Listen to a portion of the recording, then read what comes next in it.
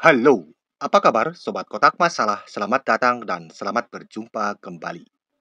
Kali ini kita akan membahas Partai Rapid tahun 2023 antara Fabiano Caruana dengan putih dan Ali Reza Firoza dengan hitam. Dan di papan kita memiliki Rio Lopez atau Spanish Opening. Rapid game dengan kontrol waktu 25 menit, pertambahan waktu 10 detik. Dan lanjut Berlin Defense. Di sini kita akan melihat permainan sempurna dari Ali Reza Firoza dengan akurasi langkah mencapai 99%. Kita lanjut dengan D3, langkah yang sangat umum dalam permainan Berlin, menjaga pion E4 dari ancaman kuda. Lalu C5, gajah kali kuda, dan pion kali gajah. Di sini hitam akan bermain dengan sepasang gajah. Dan Fabiano melanjutkan pion H3. Karena jika kuda memukul pion, pion ini jelas beracun karena menteri lanjut D4, ancaman skakmat, dan juga menteri menyerang kuda. Jadi, di sini kuda akan hilang. Jadi di sini pion lanjut H3, menjaga petak terang G4, kemungkinan gajah memimpin kuda. Lanjut E7, menjaga pion, dan kuda lanjut C3. Gajah D7, lanjut menteri E2, dan hitam lanjut rokade panjang. Bukan pilihan rokade yang umum, karena biasanya di sini kita akan melanjutkan rokade pendek. Kenapa rokade panjang lebih menarik bagi Firoza? Jelas di sini, benteng sudah aktif di semi open pile D. Gajah mengajak pertukaran gajah, dan hitam menolak dengan menyelamatkan gajah D6. Dan putih melanjutkan pion A3. Karena bila gajah lanjut kali pion, tentu pion lanjut B6, kemudian raja lanjut B7, gajah selesai. Oke, kita kembali. Jadi lanjut A3, lanjut B8, dan putih di sini masih belum melakukan rokade pendek atau rokade panjang, tapi mereposisi kuda lanjut D2. Dan apa langkah top lain di sini selain kuda D2? Tentu rokade, bisa rokade panjang.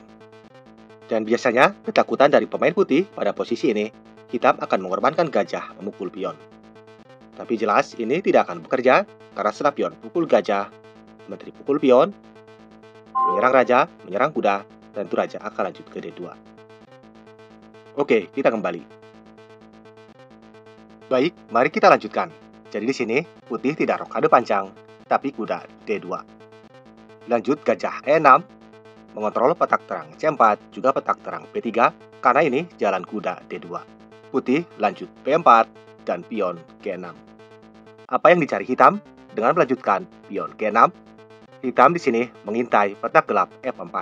Tentu kuda dapat bermanuver ke 5 dan akan menepati posisi F4. Dan putih di sini melanjutkan benteng B1.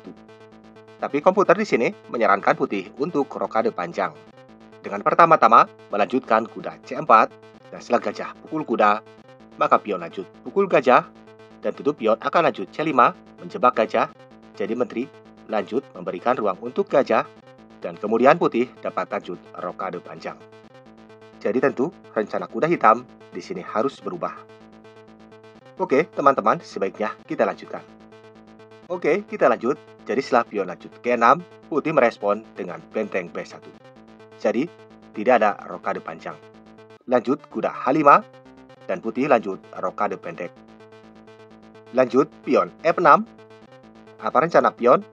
Dan ide dari Ali di sini akan menggeserkan menteri F7, kemudian pion lanjut G5, dan terus kuda melompat F4. Dan tujuan utamanya akan segera membuka file G. Jadi pion F6 langkah yang sangat cerdas. Lanjut benteng D1. Menteri F7 dan lanjut F3. Kuda melompat F4. Dan juga ini langkah yang cukup menarik. Karena di posisi ini Biasanya hitam akan terlebih dahulu melanjutkan pion G5, kemudian diikuti kuda F4. Tapi Ali Reja langsung saja menempatkan kuda D4. Apa sebetulnya rencana hitam di posisi ini? Dan apakah teman-teman ada yang tahu apa sesungguhnya ide dari Firoza? Tentu Firoza di sini berharap putih memukul kuda dengan gajah. Karena setelah pion kali pion, di sini ada dua petak lemah di sayap raja.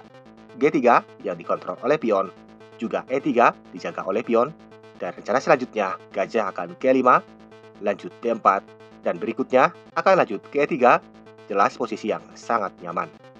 Dan juga rencana lainnya di sini tentunya masih berjalan, Kedua pion di sayap raja bisa lanjut G5, kemudian lanjut H5, dan akan lanjut ke G4, tentu merobohkan pertahanan pion putih. Oke, kita lanjutkan saja. Jadi di sini gajah tidak lanjut pukul kuda, tapi menteri F2. Menyerang pion A7. Jadi pion B6 dan lanjut A4. Persiapan pion A5. Lanjut G5, A5, dan Piroja mengabaikan serangan pion dengan lebih memilih pion H5.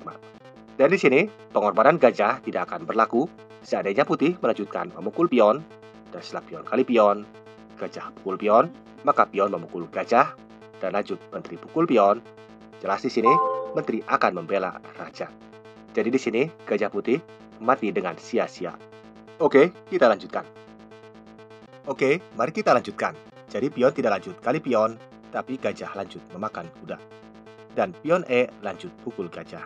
Dan pion G siap lanjut ke G4, menyerang kedua pion dari putih.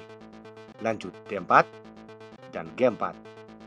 Lanjut H4 dan lanjut G8.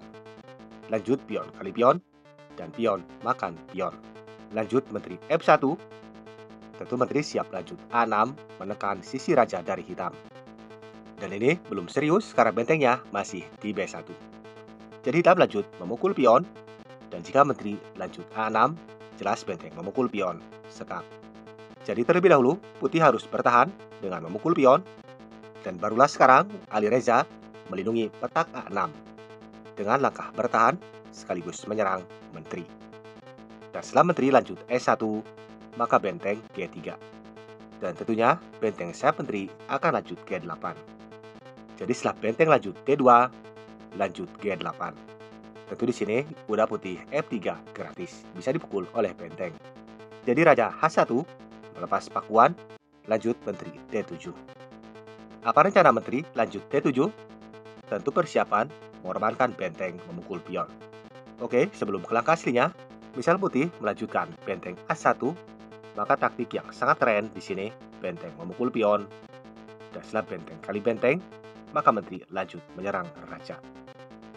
Oke, dan bila kuda menutup atau raja lanjut G1, maka menteri pukul benteng skakmat. Dan jika benteng menutup, silakan teman-teman temukan skakmat dalam dua langkah di posisi ini.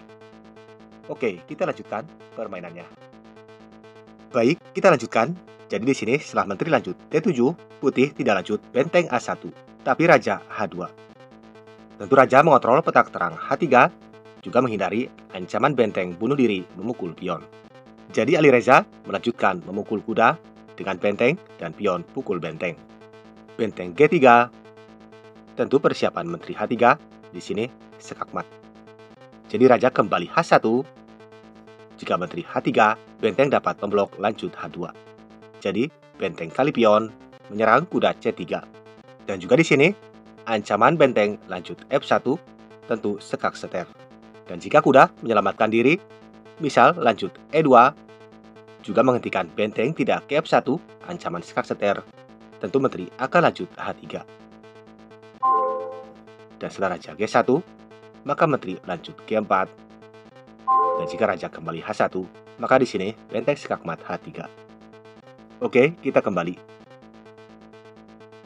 Jadi putih merespon dengan benteng H2 mengontrol petak terang H3. Tentu benteng, sekak seter, dan setelah menteri pukul benteng, tentu gajah lanjut makan menteri. Dan setelah benteng pukul gajah, pion F3. Di sini gajah menyerang benteng. Dan jika benteng di sini pergi, tentu menteri akan lanjut ke H3. Jadi pion lanjut menyerang gajah dan pion kali pion. Kuda menyerang gajah, pion kali pion, dan kuda makan gajah, lanjut menteri pukul kuda pertandingan antara dua benteng melawan satu menteri. Menteri Kalipion dan benteng menumpuk benteng, dan di sini jelas hitam unggul tiga pion. Raja naik, lanjut menteri E4, dan lanjut raja F1, menteri pukul pion. Raja E2, dan lanjut C5. Raja D3, raja lanjut B7. Tentu raja sudah sangat aman. Benteng F1, dan lanjut menteri G4, benteng F7, dan kemudian pion sekolah. Lanjut benteng menyerang menteri, dan menteri lanjut menyerang raja. Raja D2, dan di langkah ke-47 setelah pion lanjut H3. Di sini, piano Caruana resign. Jelas pion H3 tidak dapat dihentikan promosi H1. Jadi, butuh pengorbanan benteng untuk menghentikan pion H3. Baiklah, Sobat Kotak Masalah, demikianlah partai dari Ali Reza Firoza, Super Grandmaster dari Iran, melawan piano Caruana. Dan seperti yang teman-teman lihat, partainya dimenangkan Ali Reza Firoza dengan 47 langkah dan akurasi langkah mencapai 99%. Harapan saya semoga teman-teman menyukai videonya. Dan bila suka atau senang dengan video-video yang seperti ini, yang belum subscribe silahkan subscribe, like, dan nyalakan loncengnya.